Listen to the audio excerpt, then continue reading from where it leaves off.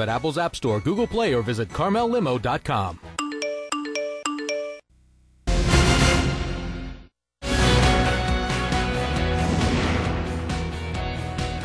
How did Venus and Serena Williams become two of the most dominant female athletes of our time? Long story. But you could start with the moment Richard Williams saw a woman with a racket receive a giant check on TV. That was the moment he decided his daughters should be tennis champions, even though he didn't have daughters and knew nothing about tennis. Or you could go back to any of the moments of his youth when he was insulted and beaten by Klansmen and cops. A violent upbringing in a racist South made him an angry, tough, and determined man, but it also created the foundation of a sporting dynasty, and he describes it all in his new book, Black and White The Way I See It. Richard Williams, welcome. I think it's an honor to be here. Oh, it's good to have you. Thank you. Um, I want to get your thoughts on the Sterling story. You know, race in America, it's a big theme in your book, but we got to understand where you're coming from Yeah. first. And you were born to sharecroppers. yes, I was. Shreveport, The only problem, I was born a sharecropper, but I didn't share anything. The other guy got all the profit. They, yeah, there was no sharing involved. Not at all. Like you said, you made a million dollars, but he kept his, He kept his his, his part. But your mother, Julia, when she went into labor pains with you, tried to go to the hospital in a mule cart in a driving rain. Mule broke its leg, tried to walk, and laid in the road as cars drove by. It was a, a time where that I shouldn't have came into the world. Didn't look like no one could survive that time. But my mom, being the mom she was, could survive anything. And that's how I was born. I was born with a champion as a mom. My mom is my God. She, um, your father, you write about, would come in just enough to Make a baby. make a baby and split. Yes. So there's no man in the house. No. She would pick cotton and pull you on the sack. Yes. Right. And so you learned. I mean, it was basic, basic, Yeah. basic. Um, and the racism you describe. Uh-huh. uh, I, I just pick one. What was the worst moment for you? Was it the Klan? Was it the cops? I think the worst moment for me, by the time I was maybe eight years old or seven years old, one of those in that time, I got jumped on by the Ku Klux Klansmen, and I couldn't run. And at being that at that age, you weren't about to be able to whip three men. But the little I could do was try to kick and move about. That didn't help me. And when I seen my dad looking on and would not help, and wouldn't provide no word, and one of the Klansmen said, I think this is something to him right there. And my dad took out rolling. He was running so fast. And by him taking a moment to look at him, I took out running. And what it taught me was that you have to be ready for everything. but you didn't just run. You fought back a lot. A little bit, not that much. It's only so much you can do at a small age. I was the second time I got jumped on Yeah. by the Ku Klux Klansmen. But you read about like stealing a Klansman's cowl Yeah. and robe and putting makeup on your hands to infiltrate. It, for what? Were you going to wreak vengeance and, and, and you had a gun at one point? You could have you could have killed him. I was going to do that. I felt a lot of hatred toward me, and there was nothing I could do. So I had gotten beat up not long before then by the sheriff's department. He took my three rabbits and my swirls, and I decided someone was going to pay that night. And I rode my bicycle. My bicycle, I could ride that thing. I had a reputation, no one could outrun me, and no one could ride a bicycle faster. So if I got ahead of the Ku Klux Klansmen, they were going to catch me, not even those old, old trucks. So when I went down there that night, I actually went to, to hurt someone. Your mother later said, I see prejudice in you. Yeah. You need to free your mind, free your heart, Yeah. right? Yeah. Did you ever? Do you still have some of that resentment deep Well- down inside? What happened was Dr. Carter was a, a doctor on East 70th Street in Shreveport, Louisiana, and I thought he hated me. So I went and told Mom, Dr. Carter is prejudiced. She said, well, I am too. And I said, you? She said, oh, yeah. See, you don't have anything. Your dad doesn't help you. I don't have anything. She said, let's go see Dr. Carter. She went seen Dr. Carter. And she told Dr. Carter, she said, you don't have no husband. You have to help me raise this boy here. And she and Dr. Carter raised me. And my mom taught me that hatred and prejudice is in the mind of people that wasn't going to do anything.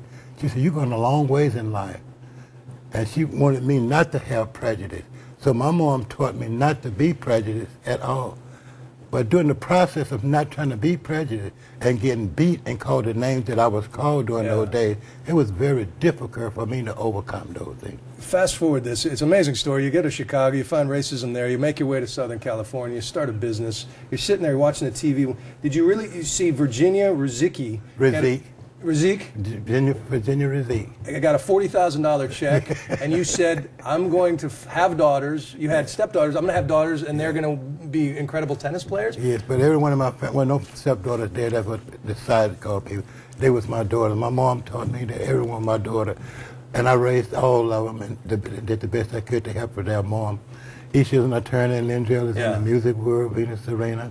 So uh, we did. I did the best I could do, but I believed that I could make two number one players, and that's what I started doing, writing a plan up before I even asked the mother to get pregnant. But that's, I got to say, a little selfish. I mean, why not have the kids and see, hey, maybe they want to play soccer, maybe they want Yeah, to play baseball. play baseball. Why? Why tennis? Was that the you deliberately picked the whitest sport you could? And, Most of all, the man now you want to play at all.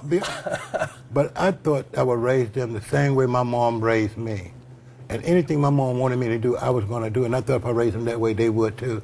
My mom taught me that anything I need to do, I could achieve it. And I could be the better than anyone else in the world if I prepare hard enough and long Yeah. enough.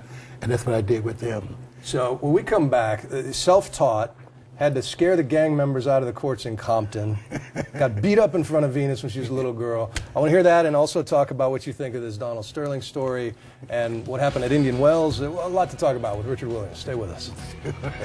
we don't have enough show.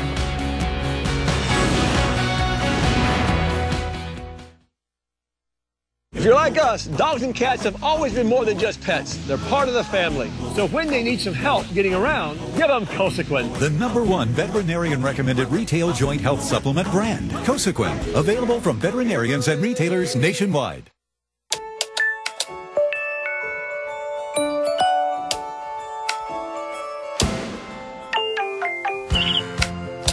No matter what kind of business you own, AT&T business experts can help keep it running seamlessly so you can get back to what you love. When everyone and everything works together, business just sings.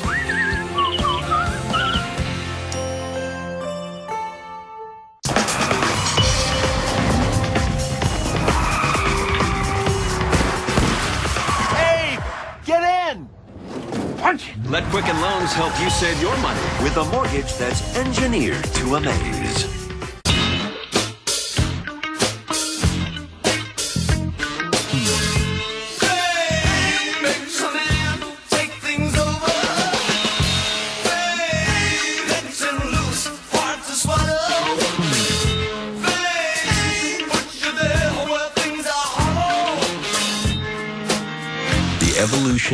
Luxury continues. The next generation 2015 Escalade.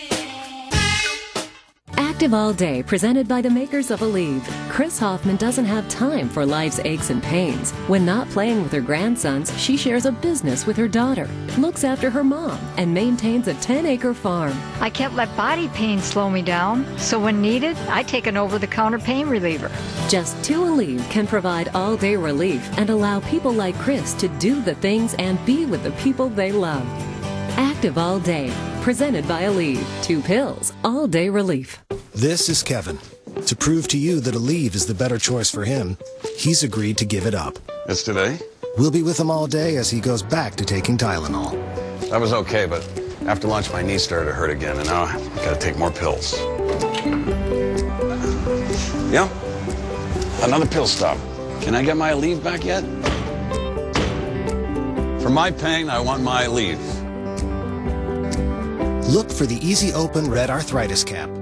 Addiction is a disease and must be treated with the right balance of science, individualized treatment, and family support. Inspire Malibu is a 100% science and evidence based treatment center that uses the industry's most advanced treatment methods by the world's leading addiction experts. If you're struggling with addiction, choose a treatment center that uses proven scientific methods and medical doctors to successfully treat your addiction. Inspire Malibu, breakthrough science, and unsurpassed patient care for addiction. Hey, what are you doing today? I'm backing up the computer. Photos, work files, you name it. Lovely. See you in a few hours.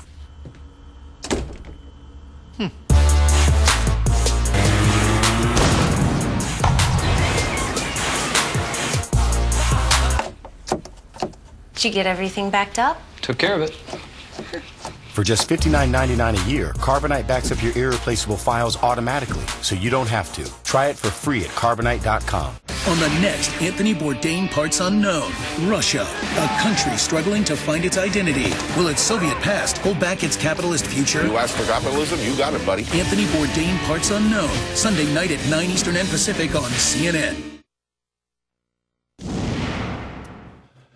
Between them, Venus and Serena Williams have won 15 Wimbledon titles, more Olympic gold medals than other, other women in tennis. And back with me now, their dad, the guy who taught them everything they know about the game, Richard Williams. Good to have you back. So, you, your mom was pretty rough. She would hit you with a switch when she was trying to teach you your lessons, Yeah, right? yeah. And you write about parenting uh, this way. Uh, throw this quote up. I don't have it in front of me. I'm going to have to read it off the screen. I surely don't understand all these parents today who are always telling their kids how special they are without them proving it. That's not faith. That's flattery. I got another one here that is going to make some moms mad out there. I feel like we're too soft on our kids. The way Venus and Serena were raised, they didn't have any choice but to be strong. What was your line? What is your definition of abuse? When you're going against a child and helping a child to dislike what they would like to do and punishing them for something they do not deserve to have. Let me give you an example. I've seen a lot of kids in tennis. Their wrist would be broken, would get beat up. Lots of kids would come to me, do and Serena get beaten? Especially if they lose. I said, no, matter of fact, I pay them. You pay them? Uh-huh. Because I want my kids to learn how much I love them. But the most important thing I think about abuse, it, prom- it prominently damages a kid forever. Long after they are kids and are death. And I don't want that with my kids. Now, you moved your family, even though you could afford to live elsewhere, you moved your family into the toughest crime ridden neighborhood in LA, in Yeah, Compton, Compton. because you thought it would make them tougher, ultimately. That, a lot of people have a hard time with that. Yes, they would. I would understand why. Let me give you an uh, example here. If you take the roughest neighborhood, what came out of? Out of Compton, we had Easy E, Snoop Doggy Dogg, Evelyn Ashford. These were unbelievable athletes. You know, almost the greatest The athletes first two was in rappers, the world. They came out of some type of ghetto, including Joe Louis. So that's what I want to teach my kids. There's nothing free, but you can work their way out of here. Mm-hmm. My kids visit Beverly Hills so much, and almost every hill you can think out there, Hollywood Hills and all those places. But you have to work to get there. Nothing is free, and they was great workers, and their education was better than the tennis. Let's look at them as kids here. It's, and, I mean, it's your daughters are now in their 30s, but this is uh, Serena and Venus at, at a younger age with their dad and coach. Serena serving to the Ed out corner, and Venus is serving to the deuce corner. And uh, you can see that serve look very good, hopefully. Uh, they're going to serve about five or ten more balls for you. And uh, great serve. Thank you Daddy. you literally had to beat the gang members away from this court in Compton with a stick. So, but once you went, you started entering tournaments and entering what was really the lily white world of tennis. Yeah, yeah. Did you sense resentment From the who? from the, the, The other white families? Yeah, the other Oh, players, yeah, the other coaches. Yeah. And let me say this to you also. The gang members helped me too, even though they beat me up. These were the first one to sympathize and come back and say, we did it wrong. Really? Yeah. Even though we shot at you, we did it wrong. We want you guys to make it. And actually helped us to make it. And that helped us a great deal. It's all in the book if people will read it. Yeah. So I think that that's what helped us a great deal. When we entered the tennis world, I knew Venus and Serena were going to win because I watched junior tennis. And they wanted to play. I didn't want them to play junior tennis. And when they played, I've seen a lot of white parents would talk about, I hate to see them girls coming. They win all the time. Well, they were supposed to win. They was taught to win. They had everything to win. But more than a racket and fast feet, what they had, they had a great head, which is in the book, and that's why I want people to read it. In 2001, you were at Indian Wells, still sort of a notorious chapter where Venus pulled because of injury right before a match against her sister, and the place booed. Yeah. And you heard a lot of racial slurs Yes, in, in that crowd, Yeah. and, and they haven't played since. No, not in the Wells. then. Was, I'm sure plenty of people were booed because they were disappointed, but do you really think a lot of that was, was racial? Yes, I do. You I do? know, not think, I know it was. You know it was. Yes, not only that, Venus had notified the WTA office that she was hurt and had seen the doctor. The WTA should have announced what Venus Right. had said to them hours ahead of time. They did not. I'm not saying the WTA was prejudiced. They might have thought she might get better and want to play. But I thought it was very prejudiced of people that live in homes cost millions of dollars that will boo a poor kid that's supposed to be an American. Yeah. And let me ask you about uh, Donald Sterling, his comments. Should he be forced to sell his team for what he said? Well, actually, he might be, should be. Uh, I think he should give it to me. We stop selling it. It might, it might seem a different light that way, and give it to me. Give it to you. as a racial, as an olive branch to the black community, give you a billion dollar prize. Yes, that's very generous of you. But that's uh, it takes a person like Donald Sterling. See, this was in his heart from his home. That's where all that takes place at. In the home. In the home. So he grew up with 77 years of disliking people because of the color of their skin. So yes, I think he's prejudiced. He proved it. Yeah. Uh, it's been a, a wonderful talking to you. The book, Black and White, the way I see it, amazing stories in Well, there. thank you. And we'll keep rooting for your girls. Please do. All right. God bless you. Richard Williams, thank, Thank you. you. Great to meet you. When we come back, the woman behind the mask, V. Stiviano, setting a new fashion trend.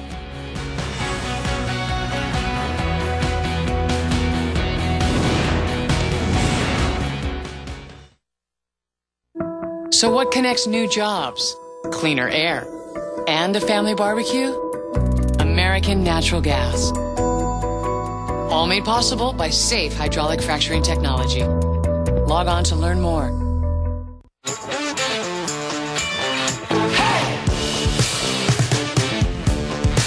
Defiance is in our bones. Defiance never grows old.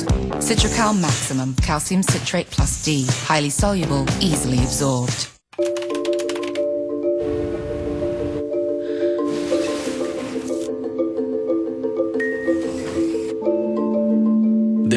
Reason why SPDR ETF investors usually find what they want. Daddy! Hey! My picture. They know where to look.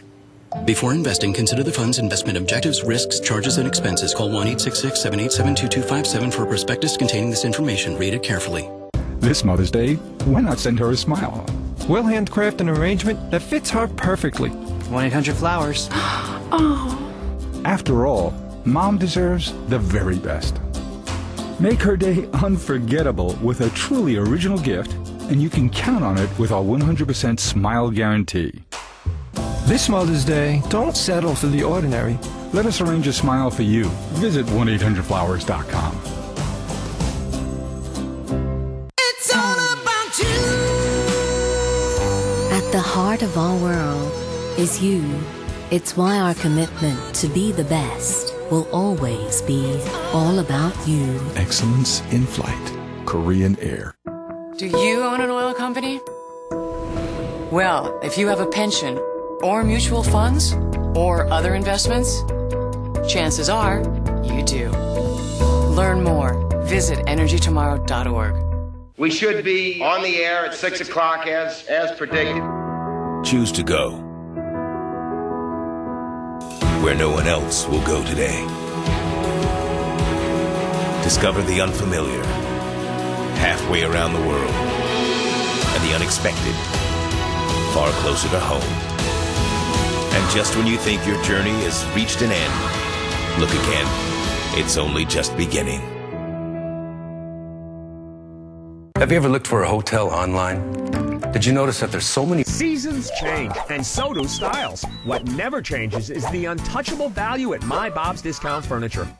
Why pay $5,000 or more for a bedroom like this at the Hoity Toity store? $5,000? Relax. Look at me. It's only $12.99 at My Bob's. Dresser, mirror, headboard, footboard, two wood rails, chest, and even a nightstand. All eight pieces only $12.99. Thanks to you, My Bob's is 50 stores strong and growing stronger every day. Did you know that one in five people have had an online account hacked and 61% of people use the same password everywhere? Trying to keep track of all your different passwords across all your sites is really challenging. Keeper is a secure and easy to use password manager and data vault that works seamlessly across all your devices. Keeper protects your identity and remembers your passwords using military grade encryption. Keep your